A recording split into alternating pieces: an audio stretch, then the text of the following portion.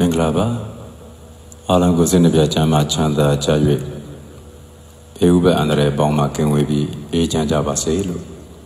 ဆုတောင်းပေးပါတယ်ဘုန်းကြီးဒီနေ့မှာမေတ္တာမရှိသောဆိုတဲ့ခေါင်းစဉ်နဲ့ဟောပါမယ်မေတ္တာဘာကြောင့်အရေးပါရတာလဲဆိုတော့လူသားတိုင်းတောင့်တသောတတ္တဝါတိုင်းတောင့်တသောအေးချမ်းသောဘဝဆိုတာ မေတ္တာတွေလွှမ်းမိုးနေမှအေးချမ်းတဲ့ဘဝဆိုတာရတယ်မေတ္တာလွှမ်းမိုးတယ်ဆိုတဲ့နေရာမှာလူနည်းစုကသာမေတ္တာပွားပြီးတော့လူများစုကမေတ္တာပြတ်နေရင်လည်းပဲသူကအေးချမ်းမှုကိုမရနိုင်ကြဘူးမေတ္တာမရှိတော့သူတယောက်ကြောင့်ပတ်ဝန်းကျင်ကလူများစွာပူလောင်ကြရတယ် အဲ့ဒါတွေကိုလွန်ဆန်နိုင်သလားဆိုတော့လေမလွန်ဆန်နိုင်ဘူးဒါလောကတဘာဝကိုလူဆိုတာလူလောကထဲမှာပဲလူတွေနဲ့ပေါင်းပြီးတော့နေတာဆိုတော့ဒေါသကြီးတဲ့သူတွေရှိတယ်မေတ္တာထားတဲ့သူတွေရှိတယ်အဲ့ဒီမေတ္တာထွန်းကားတဲ့နယ်ပယ်လေးကသိရင်သိမယ်အဲ့ဒီနေရာလေးတခုကတော့အေးချမ်းခြင်းအေးချမ်းနေလိမ့်မယ်မေတ္တာမထွန်းကားတဲ့နေရာမှာကတော့လောင်နေမှာပဲ အဲ့တော့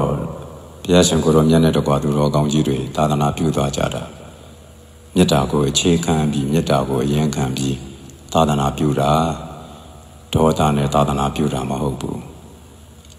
ဒေါသကပြင်းမာလို့တဲ့သဘောရှိတယ်မေတ္တာဆိုတာအာဒေါသသူကဒေါသမရှိဘူး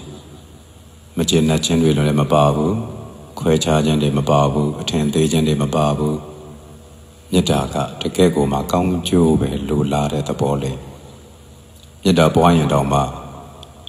ဒီမေတ္တာပွားတဲ့အတွက်ကြောင့်ကိုယ့်ဘုံမှာမကောင်းတဲ့သူတွေကိုထိမလားဆိုတဲ့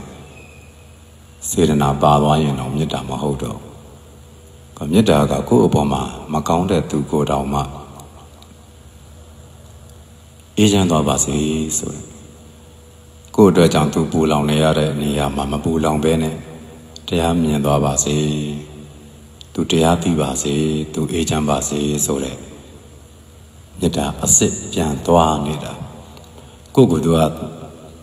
သေချောင်းကြံလို့သေခါမှသေရရောကိုယ့်ကိုယ်တတ်တဲ့သူကိုတောင်းမှအေးချမ်းပါစေကိုယ့်ဘုံမှာပြင်မာတဲ့အတွက်ကြောင့်အပေမကြပါစေနဲ့အပေဘေးကဝေးပါစေစားတယ်မေတ္တာမပြတ်ဘူးထားပင်တယ်ဘု ရားရှင်ကိုရောမြတ်တို့မေတ္တာထားတာအဲ့ဒီလိုထားတာ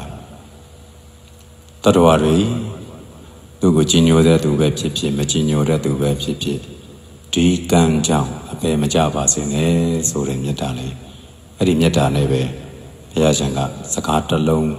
ပြောပြီးကယ်လို့ရရင် စကားတစ်လုံးနဲ့ကယ်တယ်တရားတစ်ပုဒ်ဟောပြီးမှကယ်လို့ရမှာဆိုရင်တရားတစ်ပုဒ်လုံးဟောပေးပြီးတော့ကယ်တာ အဲ့တော့ဒီမေတ္တာနဲ့သွားတဲ့နေရာဒေသအိမ်လေးတစ်လုံးပဲဖြစ်ခြင်းဖြစ်မယ်မိသားစုအလုံးတယောက်နဲ့တယောက်ကကောင်းကျိုးလိုလားတဲ့စိတ်ကလေးတွေကြီးပဲရှိကြတယ်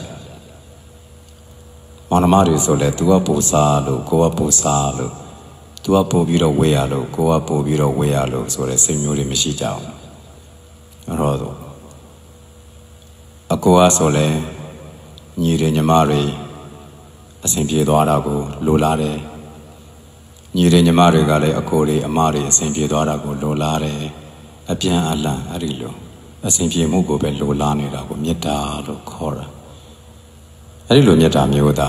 ထွန်းကားမယ်ဆိုရင်တော့အေးချမ်းတာအမှန်ပဲဘုရားရှင်ကလည်းဒါကြောင့်ဒီမေတ္တာကိုပွားကိုပွားကန်တဲ့ဗုဒ္ဓဘာသာတို့ရဲ့အခြေခံကျင့်စဉ်တဲ့မှာပဲအဲ့ တော့အခြေခံမေတ္တာကရုဏာမုဒိတာဥပေက္ခပြမစိုးတရား၄ပါးအင်မတန်အရေးကြီးတယ်လောကကြီးရဲ့အေးချမ်းမှုအတွက်ကျင့်ကိုလည်းကျင့်ရမှာပုထုဇဉ်တွေမလို့တခါတခါတော့ဒေါသထွက်တာပေါ့လို့စင်ကြေပေးကြတယ်အဲ့ဒီစင်ကြေမျိုးနဲ့ဆိုရင်တော့ဘယ်တော့မှအေးမှာမဟုတ်ဘူးလို့ပဲပြောရမှာဘုရားအစာရှိသောအရိယာသူတော်ကောင်းကြီးများ ဒီပုထုဇဉ်ဘဝကနေပဲကျင့်သွားတာမွေးလာလာခြင်းယဟန္တာတွေဖြစ်ပြီးတော့မွေးလာတာမဟုတ်ဘူးကျင့်ရမယ့်တရားတွေကိုကျင့်တယ်သီးခံရမယ့်တရားတွေကိုသီးခံတယ်သီးခံတယ်ဆိုတဲ့နေရာမှာကိုယ့်ရဲ့လက်ချေအင်္ဂါအကုန်လုံးဖြည့်ဆည်းခံရသည့်အထိသီးခံပေးကြတယ်ခံတီပါရမီကို ဖြည့်ဆည်းကြတယ်အဲ့လိုကောင်းတာတွေကိုကျင့်ပေးလို့ညံ့ရကြတာလည်းမဟုတ်ဘူး ကိုယ်အပယ်မကြအောင်ကိုယ်စိတ်ကိုအကုသိုလ်နဲ့ပျက်စီးမသွားရအောင်လို့တမင်ကိုကိုကိုကိုကဲရတာအဲ့တော့ကိုကိုကိုကဲချင်တဲ့သူတွေဟာမေတ္တာမဖြစ်မနေကိုပွားရမယ်မေတ္တာစိတ်မရှိရှိအောင်ကိုကြိုးစားရမယ်ဒီမေတ္တာစိတ်ပြတ်သွားတာနဲ့တပြိုင်နက်အကျမ်းတွေပဲလှုပ်တော့တာမေတ္တာကအာဒေါသအာဒေါသပြတ်ပြီဆိုတော့ဒေါသဝင်ပြီပေါ့ ဒေါသနဲ့တကောအိတ်တာမစ္စရိယကုတ်ကုတ်စာတွေကိုတွဲပြီးတော့ပါလာတာပေါ့သူတို့အဖော်ပေါင်းတွေသူတို့တွေပါနောက်ကလိုက်လာတတ်တယ်အဲ့တော့မေတ္တာမရှိတော့ဘူးဆိုမနာလိုစိတ်တွေလွှမ်းမိုးလာမယ်အပြင်းပြင်းစိတ်တွေလွှမ်းမိုးလာမယ်ညူစုစိတ်တွေလွှမ်းမိုးလာမယ်ပူလောင်ရတာတွေများလာမယ်တူနဲ့တူအကျိုးမလိုလားတော့ဘဲနဲ့အကျိုးဖြတ်ချင်တာတွေများလာမယ်ပြာပါဒလွှမ်းမိုးလာမယ်ဝိဟိန္တာလွှမ်းမိုးလာမယ် လောကပြတ်တော့တာပဲတူတဲ့ကောင်းလို့တော့မရဘူးအများမေတ္တာပြတ်လာပြီဆိုလောကကပြတ်တော့တာပဲမပြတ်ပါနဲ့ပြောလို့လည်းမရဘူးတားလို့မရဘူးအများကမေတ္တာပြတ်တဲ့သူတွေကြီးပဲဖြစ်လာပြီဆိုရင်တော့လောကလည်းပျက်စီးတော့မှာပဲ